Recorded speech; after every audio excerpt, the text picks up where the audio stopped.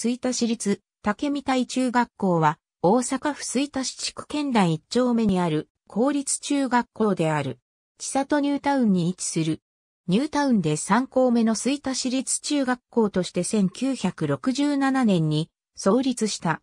ニュータウンの開発に伴い1970年代にはマンモス校となっていた。しかし少子化やニュータウンの高齢化に伴い2000年代には吹田市立中学校としては一番の小規模校となった。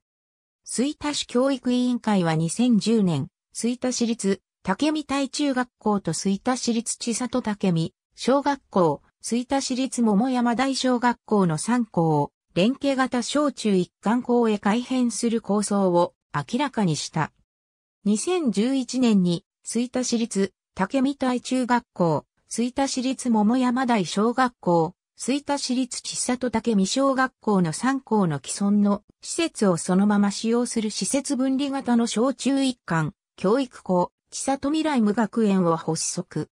3校は校舎統合などは行わずに従来の校地で教育活動を実施する。一方、小学校6年の児童が週1回中学校に通学して授業などを受けている。なお、吹田市での小中一貫校の設置は初めてとなる。